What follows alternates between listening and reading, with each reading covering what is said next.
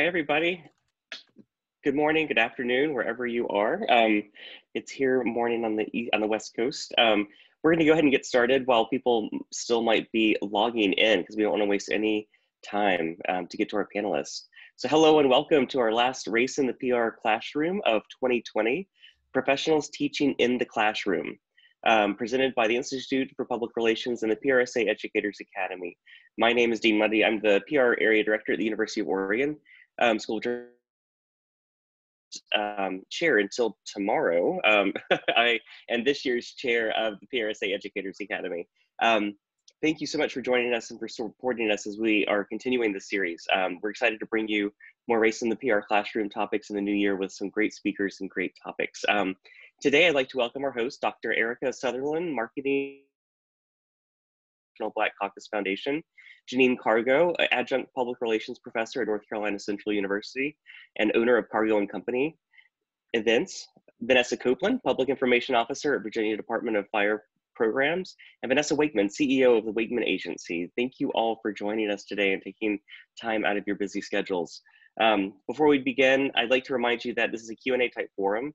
Um, to ask a question, you can type it in the chat or virtually raise your hand using the raise your hand function. Um, if you'd like to um, ask a question anonymously, just type the message to the host in the chat and we'll read your question aloud. Um, only the moderators are able to see your question, um, so you'll remain anonymous. Um, if you're tweeting about the discussion, please use the hashtag RPRC for Race in the PR Classroom. Um, this discussion is being recorded and will be available for playback on the IPR website.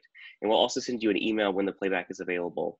Lastly, please remain respectful to our hosts and panelists and others on the call by keeping yourself muted at all times unless you intend to speak or ask a question. And so now I will turn it over to Tina, who I think is going to kick us off with some questions for the panelists. Tina, over to you. Scotty, I can everyone hear me okay? Yes. Okay, good. I see some head nods, which is always good. Uh, so good morning, everyone. Uh, it's still morning for me, so I hope you're all doing well today. Thanks again to our panelists. So what I wanted to do was first start with getting an idea of uh, who our panelists are, where they work, and where they uh, are adjuncts. Vanessa was a professor in residence. So I just want them to tell us a little bit about that because this special series is specifically about professionals who teach in our classroom. So Janine, why don't we start with you? Sure. So um, for the past three years, I've served as the Wells Fargo Endowed Chair at North Carolina Central University, um, and HBC, HBCU in um, North Carolina, obviously. Um, and prior to that, I spent time, um, obviously, working professionally for several different brands. And I know we'll talk more about our experiences, but um, just major corporate brands. So that's my background. Wakeman?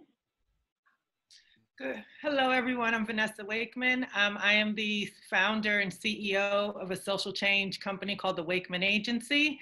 I'm based in New York. Uh, and last year, for the 2019-2020 school year, I had the, um, the privilege of being a visiting professor at the University of Florida in their uh, College of Journalism and Communications. And um, look forward to chatting with you all about that experience today. Uh, Dr. Sutherland? Good morning or afternoon, everyone, depending on where you're located. I am currently a lecturer um, as an adjunct in the Georgetown University Public Relations and Corporate Communication pro graduate program. And my experience entails um, a mix of teaching in academia full-time and part-time, as well as in the industry, primarily in nonprofit, um, as well as some corporate, government, and university relations experience, and my current uh, professional role is with the Congressional Black Caucus Foundation. Great. I'm Vanessa Copeland. Hi, hello everyone. Um, I am a public information officer with the Virginia Department of Fire Programs, which is a state government training agency located in Central Virginia. Um, from 2015 to 2019, I was an adjunct professor at Virginia Commonwealth University, where I taught undergraduate and graduate PR courses. Okay, so each and every one of you are really busy professionals, and yet you chose to adjunct and it's a lot of work and typically not a lot of pay for the amount of work that you do so why don't you each tell us a little bit about what inspired you to become an adjunct so uh, we'll go uh, i'll mix this up as we go so vanessa copeland why don't we start with you sure i decided to teach because within the public relations track at vcu at the time there weren't many people of color and having returned to VCU, I went there as an undergraduate student where I majored in radio and television broadcasting. Then I returned as a master's uh, program student. Um, there wasn't much representation, um, people that looked like me. And I've always wanted to teach. So after I earned my master's, I inquired about teaching and wanted to return to VCU um, you know, my alma mater and, and teach there in the undergraduate track. Um, and it's been very rewarding, or it was at the time. I'm taking a break now. I hope to return to teaching very soon. Um, I, I, love having the mix of working professionally full time and applying what I do every day as a PIO or PR representative, and then applying that in the classroom. So topical examples just they they they come alive there in the classroom because you know i just went through it at work just you know four hours prior to coming to class so it, it makes for a good mix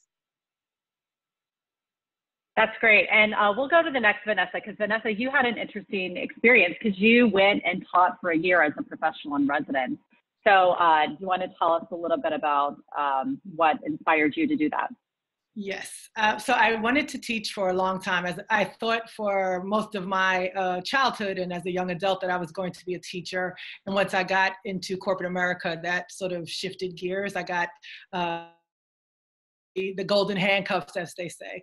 Um, but when this opportunity came along to teach at UF, uh, I thought that it would be great to sort of see if I still had a real passion and love and desire to teach as I'm thinking about maybe you know my exit from my agency in the future, um, and also was curious to get a sense of um, the sort of like the pipeline of talent and i figured what better way to also see like you know what the students are thinking about and like what their experience is and so for me i think um, I look at it in some ways as a, a, field study on both sides. Being in the classroom um, definitely gave me an opportunity to connect with students and get a sense of like what their needs were, and particularly for the students of color, the black and brown students at the school. Um, I was struck by like how hungry they were and eager and excited that they were uh, to sort of see a professor of color. In, in many instances, I was the first for uh, some of them. And then for my agency, sort of trying to um, think about what were the things that we should be prepared for as an agency for the students that were coming into the practice and into the profession. And so uh, I think that there is a bit of a disconnect between, at least for me and the students that I've met and the sort of early entry professionals that I've met, a disconnect between like what their expectations are of sort of, you know, entry level PR and what our expectations are of them as people entering the field. And so being able to help to give them a more realistic perspective of what they should be thinking about. Um, something as simple as pitching. So I had students who um, thought that they would never have to pitch in an entry level uh, position, which is just not going to happen in most agencies. And so, really trying to help set their expectations. Um, and then also, what, what, I felt was most beautiful in that experience was um, helping students to be seen and heard. Like I heard from so much feedback from a lot of my students that um, they felt very seen and heard in my class, and that was really important to me. Yes, uh, Nikki Caceres, who's our IPR comms manager, was saying when she was at school how important adjuncts were because of their tie to the profession and the work that they they do. They feel like they're they're very ingrained in it. Uh, all right, uh, how about you, Janine? Sure. So um, then I found, um, like most people would say, um, that as a woman of color, uh, coming through school, didn't really see a lot of myself. Entering into the corporate world, that kind of stayed a theme where I'd be one of only. Um, and so, in fact, when I chose to go to North Carolina Central University as an undergrad, I did that um, to kind of reverse that, have the opportunity to be around people that kind of looked like me. Um, I know that when I went to American University, the demographics kind of changed, and um, you know, I kind of returned to being um, in my graduate program one of only again. Um, but I came through a um, working professional program, and I found that um, a lot of my professors that I related the, the best with were ones that could actually give me real world advice and real world examples and experience through class. And so it was something that really inspired me, not just to learn theories and, and but also like have some hands-on work and real life projects. Um, so back in, I believe it was 2000 and ooh, feels like a long time ago, maybe 16, 15, something like that. Um, I was doing some agency work and one of my jobs at the agency, um, I was trying to kind of bring in some interns so we could have some fresh faces and reached out to North Carolina Central University because it was my alma mater and the professor I reached out to, um, Roderick, was able to bring her class over um, and do an agency tour and really just kind of like introduce them to agency life. And from then, I said, you know, I'd really like the opportunity to get back. I know when I was in undergrad, um, our school's not really one of the first ones on a stop of like, say, you know, a Ketchum coming to come and, uh, you know, recruit for talent or, you know, any sort of big names. And so I thought, you know, let me be able to give these students the experience that I didn't have because now I'm in a place where I can give back. Um, and so the teaching was just a natural extension of that to say, you know, not just bring you in as an intern, entry level talent, but also can I come back and start with, you know, the undergrads really to teach them about PR so that coming out they really understand what it means and become more of a um, viable candidate to even be brought in on an agency setting or a corporate setting for entry level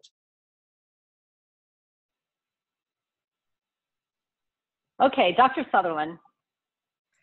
Okay, similar to what uh, many of my other colleagues on this panel have said, I too started teaching at my alma mater, which is Hampton University. And I was a working professional first. As I mentioned, I've um, told the line between being a full time and part time professor and professional. Um, my mix changes depending on what year it is.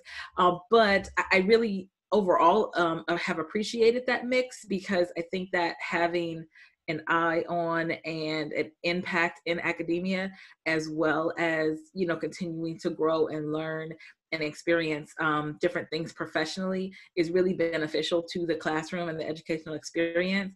And um, I have found through the different students that I've taught over the years, and I've taught um, undergraduates through doctoral students, um, they all seem to appreciate, or most of them, you know, um, seem to appreciate um, the different experiences that not only I have brought to the class, but guest speakers, examples, and other experiences that I've brought to the class. And that typically tends to be one of their favorite takeaways is the, the practical experience, whether it came through my personal experience or otherwise. Um, but in getting started at Hampton, I was not too newly graduated, a few years out, I believe, and working um, still in that Hampton Roads, Virginia area. And I went to, um, similar to some of the others, one of my former professors, and I saw, I believe, online an advertisement for an adjunct. And I said, what about me basically? You know we had a conversation i had no clue of what it meant to be a professor or design a syllabus or anything like that. Um, but I knew that it sounded interesting, one. And then I really thought I had something to offer. Um, and I literally, especially that first semester, I was literally bringing examples from my work that day to class that evening. Um, and so it was literally real time um, education straight from the profession. Um, and from then, um, I just grew to love it. Um, I got bit by the bug and I decided to, you know, continue my, my own educational um, path and pursue the professor at full time and and while always keeping a whether it's freelance or project work um, etc um, keeping an an arm and a foot in the profession um, because again I, I, think that makes is, is really special and really beneficial on both ends honestly. Um, and I still keep in touch with many of um, so I have students who um, from the undergrad programs, masters, and doctoral are doing really, really impactful. I won't drop any names because I haven't gotten their permission, but um, who are doing really impactful things in, in, corporate America, in academia as scholars, um, in, in education themselves, um, across the board. And I, I love keeping in touch with them. We still talk, we learn from each other to this day. And that is just something that, again, helps start my experience, and it's still part of my experience. Okay, great. So uh, um, you all taught at very different institutions, uh, Virginia Commonwealth, Hampton, North Carolina Central, University of Florida. So do you want to tell us, also, do you want to tell us from both a race and gender lens, what your experience was teaching at the different institutions as an adjunct? Um, we'll start with uh, Vanessa Wakeman. You're to the PR profession, um, definitely very female. The majority of the students were female. Um, it was typical. I don't think I had any class that had more than four male students, um, and the maximum students I taught in each class was about 19. So very uh, female heavy. And uh, gender, uh, excuse me, race. Um, I think the uh, program had about 8% 6% Black, 8% Lat- Latinx, or maybe that's the reverse, um, but predominantly white. And I, I think um, what I was struck by was um, the, the, the sense or the, the, the interest for the students of color to um, feel a sense of belonging. And so in some of my classes, I try to create opportunities for that. So making sure that the curriculum was definitely inclusive, that we spoke about um, issues that allow people to sort of have their voices heard. Um, we did a lot of similar to what um, Erica mentioned about like literally running from, you know, with issues from work to take it into the classroom.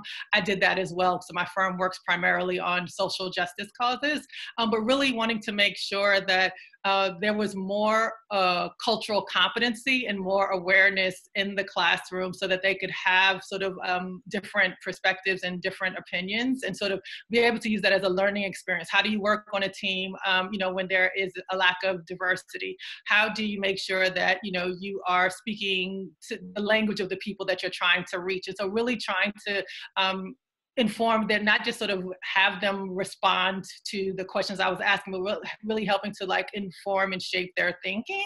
Um, I think that was really important. Uh, I think the other thing that uh, was interesting to me is outside of just the, the classroom part of it, also thinking about like the faculty and staff, some of those same sort of like gender and racial um, percentages were present in faculty. I was the, as I mentioned, the first, oh, the only um, Black professor for the public relations program. And so even students from other departments were interested in, you know, getting to know me and, you know, sort of sought my advice out. And so it was even beyond CJC. There were um, students from the business school and other schools really just wanting to sort of um, have someone to speak and sort of, you know, get advice from that looked like them or the, who they thought could sort of offer them some support in their journey. Um, and it really sort of reflected back to me the importance of um, like my my, my responsibility as a professor there. So I think that the program itself has done a, a really good job of sort of understanding the places where um, there's opportunities for improvement.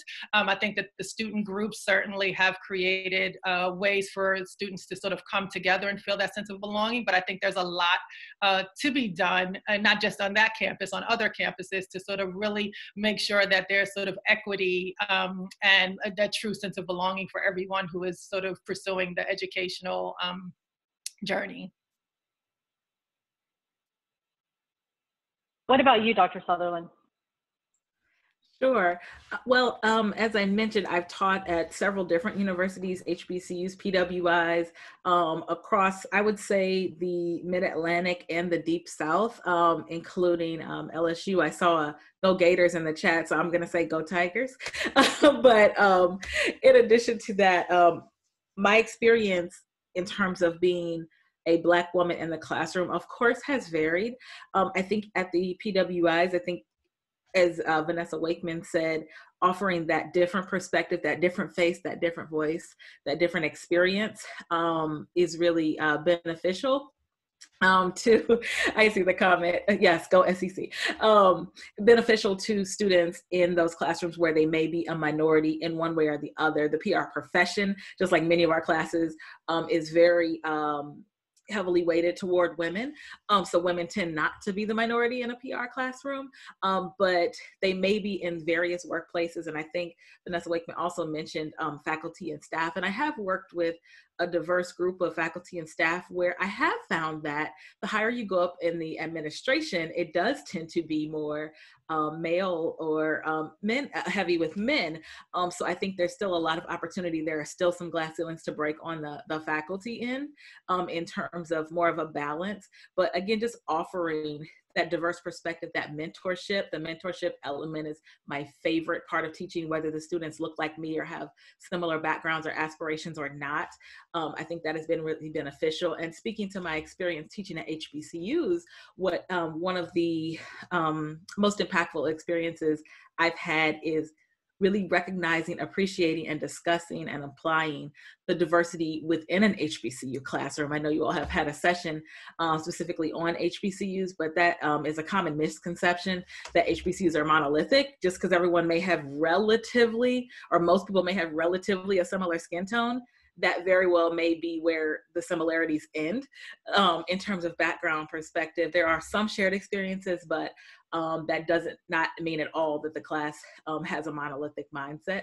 And I think discussing that and discussing how those perspectives apply to becoming a professional in the industry um, are really what have driven the classrooms no matter what type of institution i think just bringing in the gender perspective what i have um, what i have experienced with students again on all the levels i've taught at is with women. Again we may not be the minority in the classroom or even in, in pr workspaces but i've had different discussions with women. Again i started very young um, as a, um, a professor as an adjunct and then becoming full time and going back adjunct and you know living my own life um, in between there women tend to want to speak with other women about how to navigate things like working and starting families working and navigating um, you know uh, salary negotiations um, dealing with um, potential sexism or other isms in the workplace. They tend to want to speak to someone who has experienced this or has at least seen it from the inside um, so they know what to expect. They can learn from others mistakes. Those have been some really beneficial conversations i've had along the way as well great uh, vanessa copeland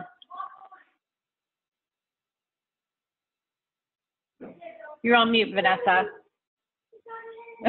there we go all right um, so let me preface what i'm about to say with um, as I mentioned earlier, I was an undergraduate student um, at VCU, Virginia Commonwealth, and returned as a master's student. So there was a 12 year gap in between undergraduate, graduate. Um, and I saw the shift. Uh, VCU is in an urban setting um, in Richmond, Virginia, um, and, and had a small pocket of uh, a minority or diverse population. And I've seen that grow tenfold the 20 years that I've been here in the Richmond area. So, returning as an adjunct professor, the classrooms were different as far as the makeup. So, when I was a student, I was probably one of five out of in the broadcasting track that was of color. But returning as a professor and even as a master's student, I saw that uh, maybe 40% of the students in the classroom were of color, some minority um, yes, generally more women in the PR track and in the classroom. Um, but for me, with the students of color, particularly Black women who saw themselves in me standing in front of the classroom, being professional. Look, if you ask me anything, I'll tell you, but I don't volunteer. Uh, but the students, they're very inquisitive and connecting every semester when I taught, I, I gained a mentee, someone that said, Take me under your wing, show me what you know. And they were not afraid to ask me, you know, after class or, you know, via email, um, the the nitty gritty questions as a woman of color wanting to work in public relations and and those experiences. So being able to share that was very important to me. Um, and continues to be important to me um, to to to bridge the gap and to tell them the real deal like this is what you may experience as a woman number one as a woman of color uh, day one um, when you join an agency when you join state government um, when you work you know around men who are much more seasoned than you as far as the profession.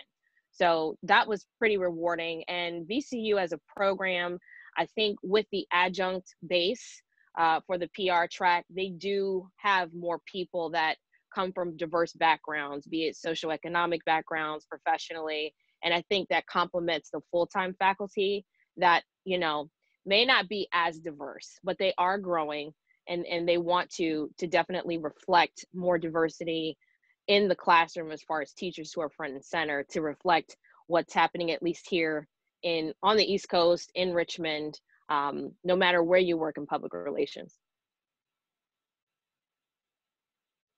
Uh, Janine. Sure. So um, I would say, um, like many peers that look like me, working in public relations, um, for me, my experience had been that oftentimes when I'm in the room, I'm the only female. um, one of my one of um, my corporate jobs was working for um, Stanley Black and Decker, which is very you know blue collar male power consumer power tool um, white. And so I had a lot of experiences like that professionally where I was one of only the only black person, the only female, the only person under 40 in a room.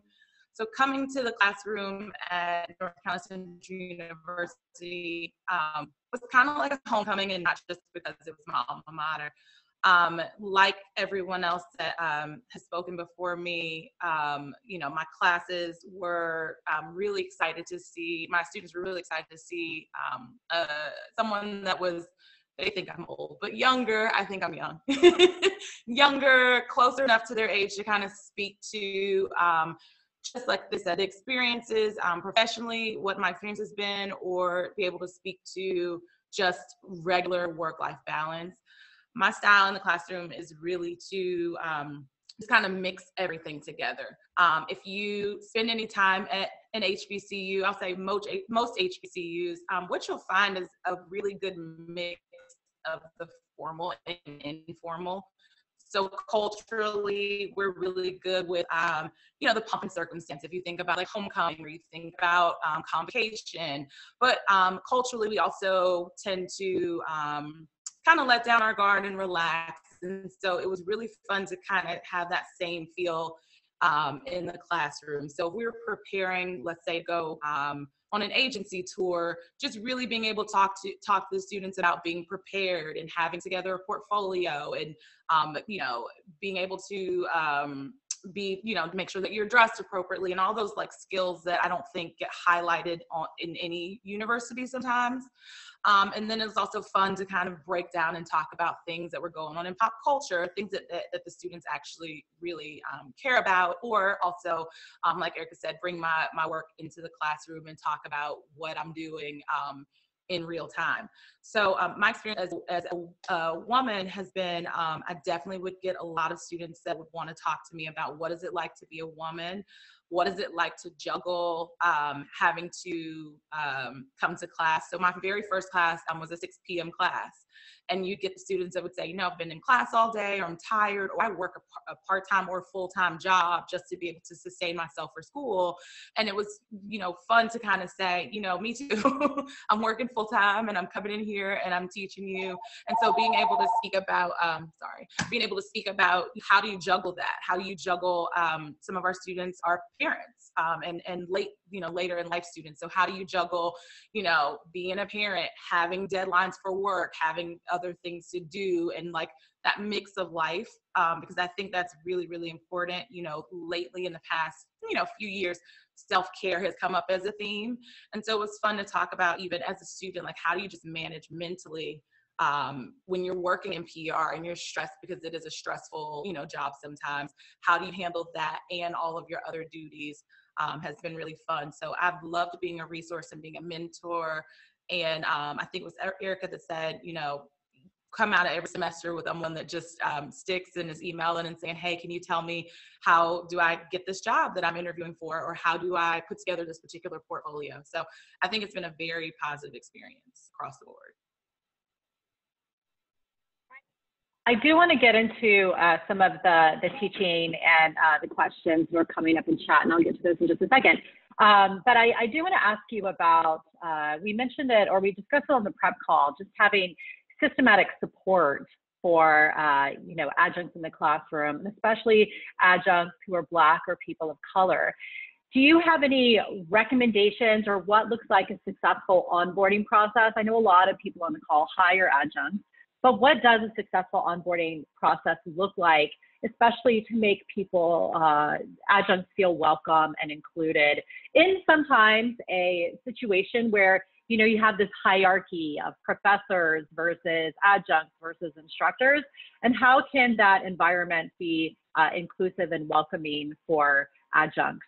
Um, so uh, we'll start, Janine. I know you. Just, I'm trying to mix it up, so we'll let you start this time if that's okay. So I would just say um, proper onboarding. Um, really, if you're coming from a course setting and you're brand new to teaching, um, you understand obviously what it's like to go through as an undergrad. You may not understand some of the um, I'd say pomp and circumstance that you see in a university setting, whether it be, you know, what who's it, what's a chair? Does that mean versus a dean? Or who do I talk to for support, whether it be think any sort of um, like crash course to explain to a brand new adjunct um, you know who who are the players? What are all the moving pieces? Um, who do you go to when you have questions? And just understanding like the different levels of hierarchy. I think if you work in corporate um, you'll understand the hierarchy but you need to know like what how it kind of um like what it, what is it um, the different titles or just everything when you come over to the academic setting i would say from a race perspective um, i don't know that um, like I, didn't have as many challenges coming into an hbcu um, but i would say um, when we talk about like students just really helping um, and adjunct understand the socioeconomic pieces to some of our students. So I know at North Carolina Central University, like Erica said, um, you know, being African American, um, or minority is not a monolith. And so really being able to understand like what's your school's population. Um, I have other uh, friends that are adjuncts or professors at other schools. And so they're able to talk about their demographics and kind of what to expect as you're coming into the classroom because what you'll see sometimes is that there's um, there's a cause and effect of you know this is you know our socioeconomic situation or maybe we're dealing with first generation college students so expect to be able to um, to navigate this particular type of way based on our student population so any onboarding is um, really helpful. Um, one of the things that I think worked really well at North Carolina Central University is inviting and including and really even expecting your adjuncts to come to um, your regular meetings and things like that. So you advisement, even if you're not having to do an advi- advising or really just understanding all the moving pieces so that you know and understand how important and integral your role is to your, your individual department. Great. What about you, Vanessa, especially coming in as a, a, a you know, professional in residence?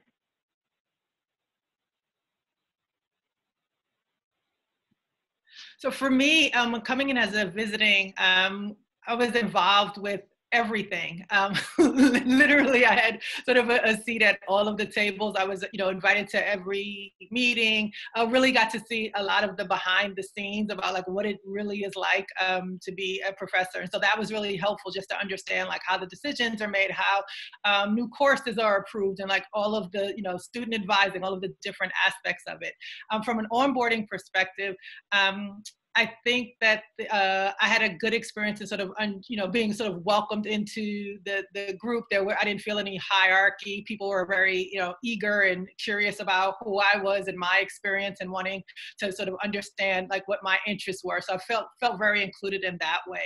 Um, I think from an onboarding perspective, um, what I wasn't prepared for is um, it's a very different scenario than working in corporate America, just the, the speed at which decisions are made. So that was a little um, like overwhelming for me like how long of a process it is for things to sort of get approved. That was very different for me. And um, sometimes you know uh, just from a, a, patient's perspective like why is this taking so long? Um, but from onboarding i think that sort of having a better understanding similar to what janine said around um, some of the challenges of the students i think that i very quickly sort of you know made my own observations and assumptions and was, was able to sort of be a resource for students.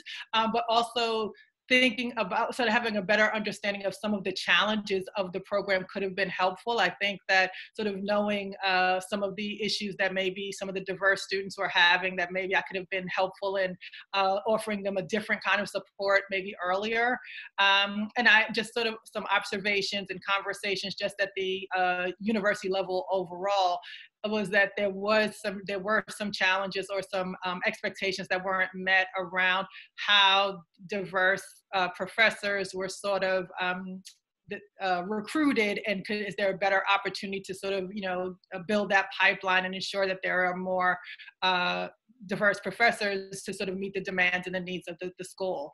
I think that one of the things that was really good um, was how quickly after um, the murder of George Floyd, this isn't an onboarding, but just sort of the uh, an example of the school's willingness uh, to uh, offer some support was there was a lot of conversations between faculty and staff um, and students really engaging around diversity, equity, and inclusion and what does an inclusive and you know environment look like and um, sort of peeling back the curtain to sort of look at some of the challenges that were present and sort of working together around how do they form solutions. So to me, I found that to be very reassuring around, um, you know, maybe the uh, the professors and the faculty um, and the leadership didn't have all of the answers, but a true willingness to sort of come together and sort of have those uncomfortable conversations to sort of offer support.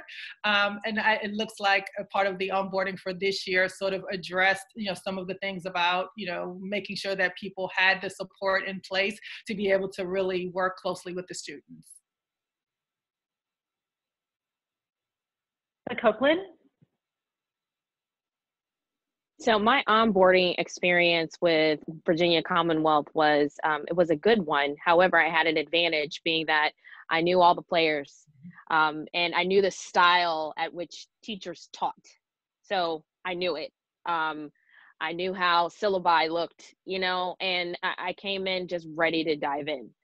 Um, but I knew the questions to ask. Um, as a new professor, um, what are the resources to to to to look for? Um, uh, a liaison or, or someone that oversees the pr sequence coordinating at vcu um, was an excellent excellent resource because like myself he was also a master student and then you know became a part of the the faculty. So that perspective helped. Um, I, I, would say for anyone who's new to uh, being a, a, a professor, especially in PR, um, like many of the, the, the panelists said, you know, know your audience. So what's the snapshot of the university as a whole? What does that look like? But then where you're teaching, um, what does that snapshot look like as far as the student makeup? Um, I never really addressed race as a thing when I was onboarded. Um, I never felt um, onboarding was different for me as an individual or person of color. Um, however, I knew going into the classroom what I look like and what was happening in pop culture and how to weave that into what was going on in the classroom and just kind of marry that with um, the, the typical lessons that you learn in public relations as far as writing, pitching, um, building relationships. So the onboarding for me was was a good one, but again, I was also, you know, very immersed in the school anyway. Sutherland, you've taught at several places. Um, so why don't you talk about maybe the cultural of it, culture of inclusivity and and your your process of onboarding with your various universities? Sure. I will say, um, piggybacking off what uh, Vanessa Copeland just said, um, it's definitely important to know where you're teaching. Um, sometimes, in some of my experiences, that information has been offered to me. Um, if it isn't offered, I typically ask, you know, what's the typical makeup of your students? What's the the culture of the program? You know, what are some of the typical challenges, et cetera? I, I'd like to know that going in, and then even on a more micro level, the first day of class, you know, I make time to get to know my actual students um, in this particular class because of course even if you teach the same course every semester each classroom is its own makeup it has its own um, personalities and players so that's super important. I also um, have found a, a tremendous resource um, mentors in the field. I have two again i haven't gotten the permission to list their name but two amazing mentors um, in, in the pr teaching side of the profession um, who are very accomplished in their own right at two, two three different universities. Uh, one of them has moved around a couple of times since we worked together. Um, but they have been an invaluable resource in helping navigate not only just one program but academia as well especially at a school um, like an LSU or another school where there is, you know, a strong majority one way or the other, um, and and helping you learn kind of that behind the scenes um, impact of what a face like yours or an experience like yours might bring to the classroom.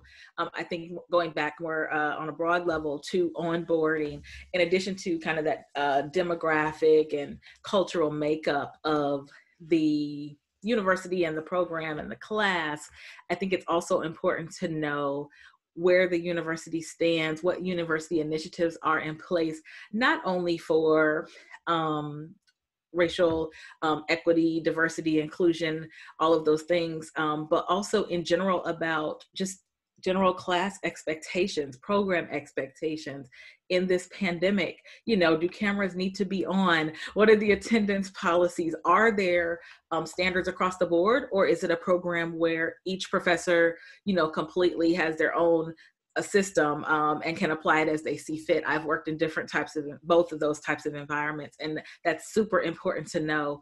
Um, specifically um, to where I am now, I must say, uh, the Georgetown PRCC program does an excellent job with making adjuncts feel included. Someone else said, you know, having the adjuncts attend the meetings, get to know everyone involved in the program, and know who to reach out to for questions um, has been instrumental, including being able to speak with someone, even if it's just a quick phone call or a quick Zoom meeting, speak with someone who has taught this class before, who may have um, example assignments and syllabi, especially if you're either new to teaching or new to a particular program, that is, is um, again, invaluable. Um, but also this program, you know, has made a very, very conscious and explicit effort to weave in the concept of which is a newer term but the concept of anti-racism throughout the program. Um, and i particularly from my perspective find that valuable because it it really alleviates some pressure of professors of color um, or any other minority um, from being like the black professor who teaches the black stuff, you know, or whatever other minority you may belong to. You don't have to just go to this one professor or this one class to get that type of information or perspective. It's woven throughout, um, and that that understanding and that support is really not only comforting but it's it's efficient um, for the program and i believe students appreciate it and it also again helps to alleviate some of what can happen is tokenism you know that you're expected to bring the minority perspective to all things in the program. Whereas if, if everyone you know uses diverse examples in class and has um, a diverse set of guest speakers etc um, talks about different perspectives on various issues because as we know the pr and field is this is not accounting this is not which even accounting can vary. But as we know communications is ever evolving. There is no one way that it, it works every time and if you follow this book you're going to succeed. We all know it doesn't work that way. So i think if everyone is bringing in the the different ways that we might make this profession work um, throughout the program and the students are getting it in every class that has been um, what I found to be the best way to not only onboard, but to um, structure a program overall. has any questions, please put those in the chat. Um, Dr. Sutherland, just to uh, piggyback on what you were talking about, how um, at Georgetown weaving in the anti-racism, uh, let's talk a little bit about the teaching in the classroom. So what sort of, uh, and I know uh, a lot of individuals are weaving it throughout instead of just having like a unit. Here's the DE and I unit of the day.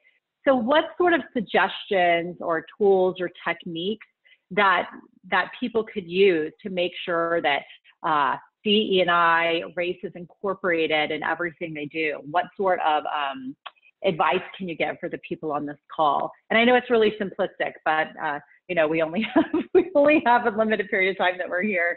Uh, so, Dr. Sutherland, why don't we go ahead and kick it off with you?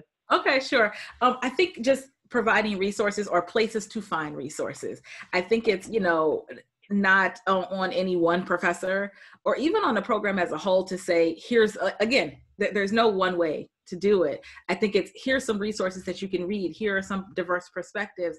Um, think about um, choosing textbooks or other readings that are written by different types of people. Um, and i think that overall that kind of guidance is what's really helpful to bringing that to the class instead of putting the pressure on and say make sure you implement diversity and then that's the end of the conversation uh, because that is a, a, lot of pressure and that means so many different things to different people. Um, me specifically i tend to in every lesson we talk about um, i try to encourage and it's not always race based but in general i try to ask um, students to give their opinion on whatever the topic is of the day. We have to, it's a graduate class, so it's you know largely discussion based. And then I'll flip the question and say, okay, what's a different perspective? How might someone else perceive this? And I won't put any other disclaimer on that. If I wasn't me, if I was someone else, how might this situation present or how might this be handled in a workplace? Um, and I think that that's something that has been you know really beneficial. And like i said for me i've um in my current class i've brought guest speakers who you know all bring different diverse perspectives. And the person i actually did bring to specifically speak on diversity equity and inclusion was of a different minority than myself. Um, and i that was very purposeful. Um, because I want students to, again, not only um, have a mindset that this person brings one perspective to the table. You know, I'm facilitating the course, but in that, I'm bringing you a, a variety of different perspectives to consider. We've had readings that um, bring different perspectives than my own and different perspectives than what many of the students have. And I think that combination of, of resources, speakers, discussions, et cetera, help create that well-rounded experience and if that's replicated kind of throughout a program they really come out with skill set and and set of perspectives. Those are some great suggestions. Thank you. Uh, vanessa wakeman so um, I was able to create my own classes. Um, they gave me the sort of uh, blank slate to create classes. So I um, really tried to think about what things would be important for students to think about um, as far as you know diverse and multicultural audiences how do they sort of analyze these situations? And so we took a lot of things ripped from the headlines. I also had uh, clients and, and, colleagues come in and speak about uh, issues around immigration reproductive rights civil rights um, so that students who either were exposed to these issues and wanted to learn more had an opportunity to sort of see like what the thread was for how they tell these stories and for people who didn't have any exposure to any of the, the social issues really to sort of start shaping their thinking and so i think that there is certainly um, an embarrassment of riches of sort of like diverse uh, real life examples that people can pull from. Um, I know that in uh, recent years, uh, professors have been very, very generous in sort of sharing some of their uh, curriculum suggestions and sort of resources around, you know, anti-racist or um, just sort of like multicultural communication. So I think a, a Google search will certainly uh, highlight a lot of that. Um, I, the other thing that was uh, really helpful was to not so much focus on like maybe what they had the students had learned in the past as far as like this is the way you have to do it. Uh, to erica's point like the pr profession is constantly evolving. And so i wanted them to sort of be able to think and i tried to present as much ambiguity as i could in a lot of the examples that i gave them because we don't always have all of the information when we're trying to sort of shape a pr plan or you know to sort of communication strategy. And so based on the information you have where there's this opinion or you have this audience you're trying to reach or this audience who you're trying to sort of shift perception what would you do? Um, or for those who are saying like well how do we you know if we're doing something for the black community um, how do we shape the communication so that people sort of you know are aware and able to take action? And so really trying to tie it into real life examples of what we're doing in the workplace today. Um, and i the one of the other tools that I think was helpful was to allow the students um, to disagree, um, to sort of have other opinions. And so um, my views are fairly progressive and liberal, but I didn't use any of that to sort of shape their opinions. I had very conservative students in my classroom, um, and I could see in many instances, based on some of the content that we were talking about, they were incredibly uncomfortable. Um, but also sort of share, you know, uh, helping them to understand this is sort of like the breeding and testing ground, right? This is the last stop that student, that people, young people will have before going into professional environments. So let's work out how do you work with a colleague who has a different opinion and still be able to provide what your client needs. And so I think that that was really helpful for them in understanding how to work in uncomfortable um, situations. And then also uh, furthering their understanding of some of the issues that may not directly impact them, but still, still allowing them to sort of give their best work and their best sort of thinking towards solving a problem. Uh, Janine. Sure. So um, I think this is really simple. Um, when you think about PR, one of the core skills you have to have in a job setting is media monitoring. And so, um, what um, I challenge my students to do every semester is um, you're going to pick an outlet and you're going to just monitor the news. So, we may um, compare uh, a headline or compare a story or do a PR in the news exercise. We're looking at how was something covered, um, let's just say a CNN versus a Fox, or how something covered locally versus regionally versus nationally. How are we talking about um, just the different things that are going on. So that um, gives an opportunity to talk about real life things that are going on and brings in some of that diversity. Because if you go and search, right, and do a sort of media monitoring, you're going to find um, different stories of all, you know, for, about people all different walks of life. Um, the other thing too that we do, um, very similar to Vanessa, is force that group work. Um, and so even though um, my students, when I say we're doing a group project, they are just annoyed. um, we always talk about how when you're in any sort of corporate setting or agency and your audio is uh, your audio is going in and out. you have to rub elbows people that don't think or look like you. So how to come to a common ground to you know work and, and achieve a, a goal together. Um, but i think the main thing too um, is just being really comfortable to talk about race when you think about working on a campaign, um, you know, for a client in an agency or setting, um, down and just what we can do. What do they look like? What do they read? What do they, you know, what do they consume? And so being as comfortable as you are when you're being paid in a corporate or agency setting to talk about who we're trying to target having same type of um, uh, bravado to be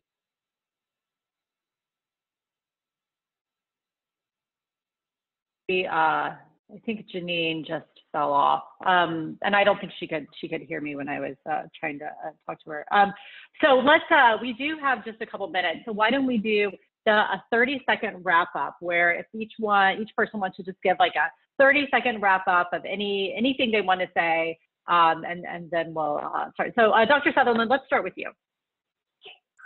Okay. Um, I would say in general, you know, ask questions, reach out. Uh, we talked on our prep call about how do you even get started. A lot of people want to know, hey, I'm a professional out here doing great work and I would love to share.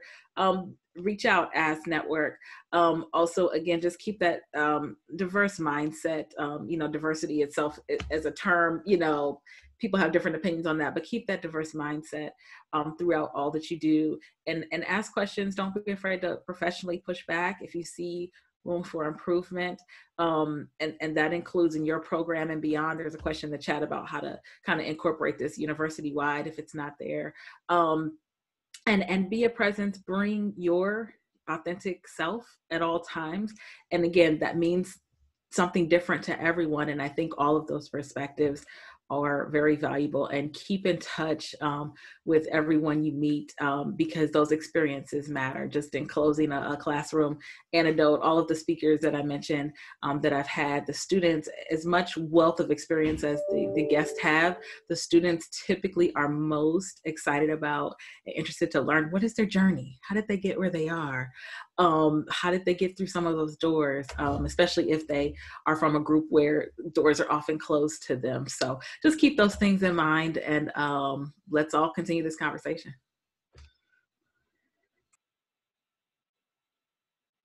Yes, great. Thank you. Uh, Vanessa Copeland, 30 seconds.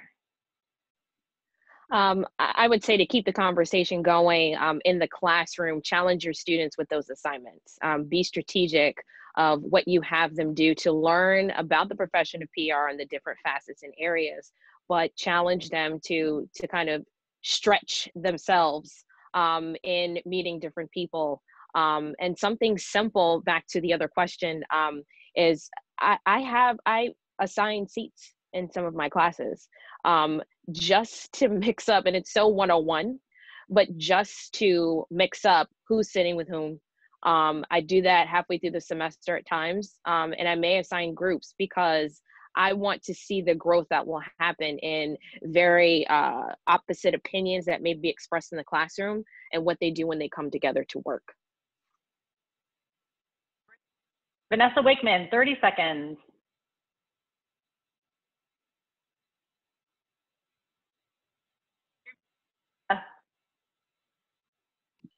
Uh, I would say challenge yourself or be honest with yourself to uh, think about any biases that you may have that may prevent you from like fully seeing all of your students in the classroom um, and really think about how you can be present with them um, so that they can sort of really feel seen and heard and have the gift of your learnings or your teachings, excuse me. Great.